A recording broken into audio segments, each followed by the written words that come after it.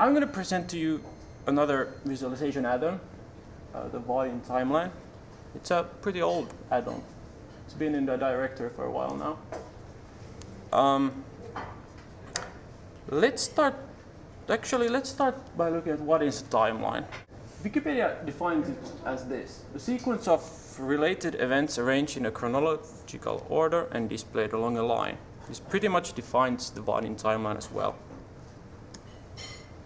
Okay, what defines the Vaadin timeline? There's a lot of visualization add-ons and chart add-ons available and um, we can best define it by looking at some of the features the Vaadin timeline presents.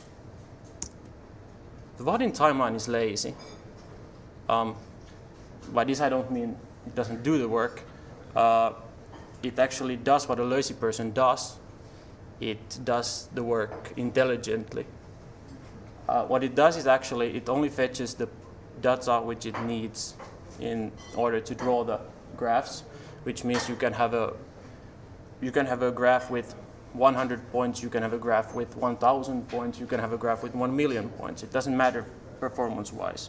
It will always render with an equal performance. Um, the timeline uses the HTML5 canvas. This has some perks compared to other charting tools, which means you don't need any plugins for this. This will work in any recent version of a major browser like Firefox, Opera, Safari, and even and even Internet Explorer 6, 7, or 8. Wait a second. Did I say Canvas and Internet Explorer? No. Um, actually, Internet Explorer does not support the Canvas tag, as you probably know. But what it does here is it uses VML. Uh, VML stands for vector markup language, and it's an old la XML language. It's now deprecated. Uh, it was used before SVG was invented, but for some reason Microsoft had decided that they would support this in all their recent browsers. They prefer this. So what I've done here is the timeline uses the VML language to draw the graphs in Internet Explorer.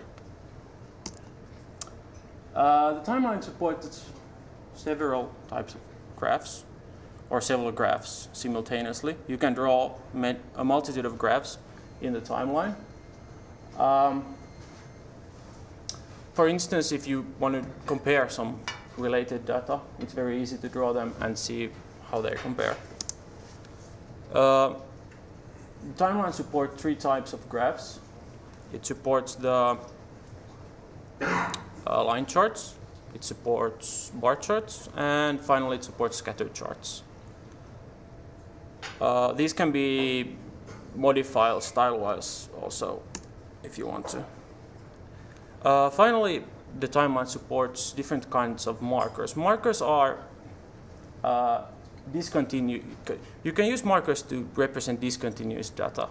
Um, for instance, if you have some kind of events or like let's say a switch got turned on, or if you look at outside temperatures, you can look at when winter time starts and winter time ends.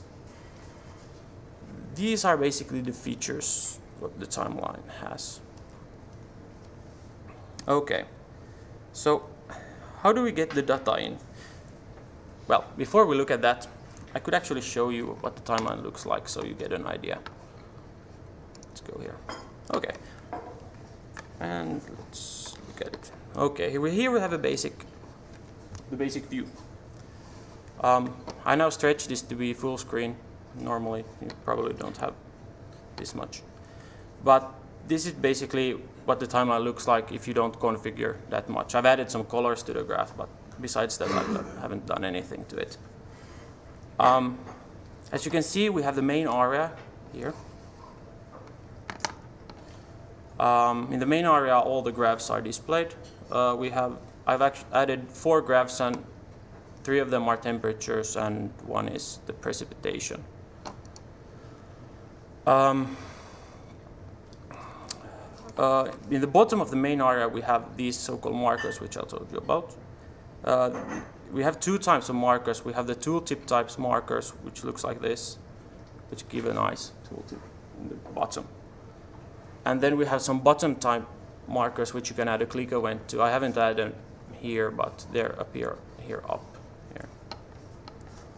Mm, in the bottom of the screen, we have the browser, or which you can use to browse the timeline with. Um, it looks like this. You can drag it around. Uh, the timeline will zoom in and get some more data when you release it. Uh, so here you can scroll the timeline to the point you want to look at. You can also zoom in and zoom out like this. Get a better view of your data. And that's pretty much it what you can do here down. Uh, then if we look at the left corner, we have some other controls. As I said, Timeline supports three types of graphs. We have the line charts, we have the bar charts, we have the scatter chart still. I didn't show you that. uh, then we have, above the chart modes, we have some zoom levels. Uh, these are fully customizable by you, the developer.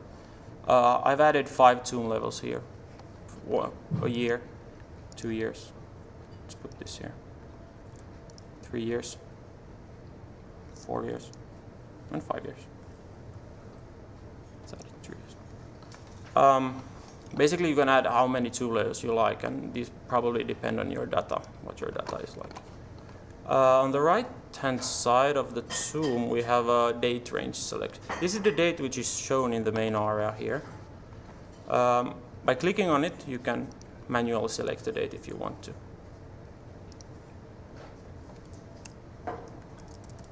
Let's go to 2004. Like that. It will manage the screen. And beside the date range, we have the legend, which will show you a caption for each and every graph. As you see, we have precipitation as the blue. Hope you see it, yeah. And then we have mean, minimum, and maximum temperatures displayed. Okay. This is basically what the timeline looks like.